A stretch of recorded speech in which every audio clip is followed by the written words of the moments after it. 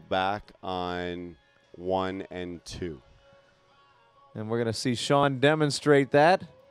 Right now, Shawn Casady with Ariana for HKC Collection. See if he can get a second win this week as he did yesterday in the welcome class.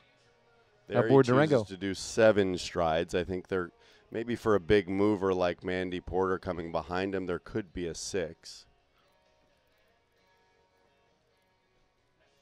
And there he does nine as well, and, and we saw some horses doing eight in the first round.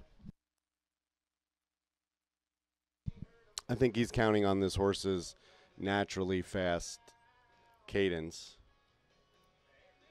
I think he's just going for a smooth, efficient clear, which is really smart for a seven year old.